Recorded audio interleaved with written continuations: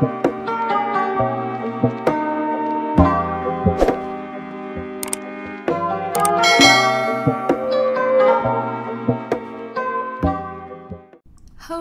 and welcome to the Big Bang.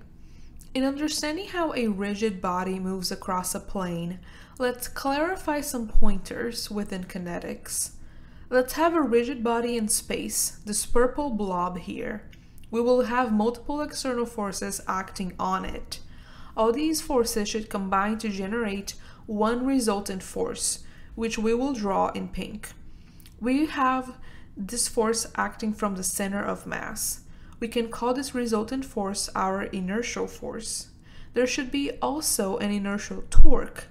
Different from the inertial force, this inertial torque can act about any point in the body, but let's have it for now at the center of mass.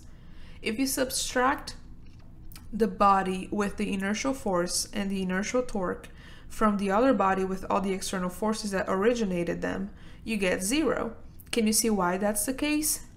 The two systems are equipolent, which means that although we drew different forces and moments in each system, the resultant forces and moments from both systems are the same.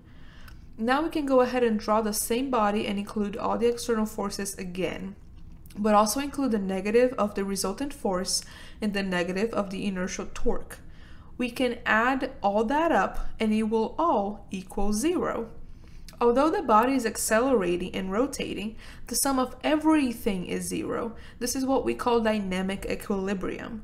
The D'Alembert principle of inertial forces outlines this concept. The idea here is that you can transform an accelerating body into a body that is in static equilibrium just by including the inertial force and inertial torque in that system.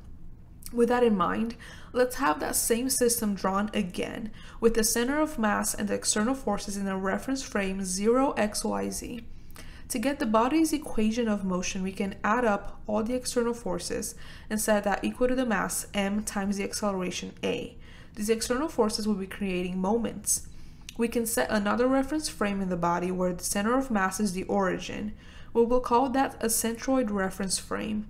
From the center of mass, we can draw the inertial moment I times alpha, the moment of inertia times the angular acceleration. From here now, we can write up the sum of all moments about the center of mass g. That's going to be equal to the derivative of the angular momentum, which we can say equals the moment of inertia times the angular acceleration. This gives us a couple of equations of motion that we can use in studying the motion of a rigid body. And I will see you next time.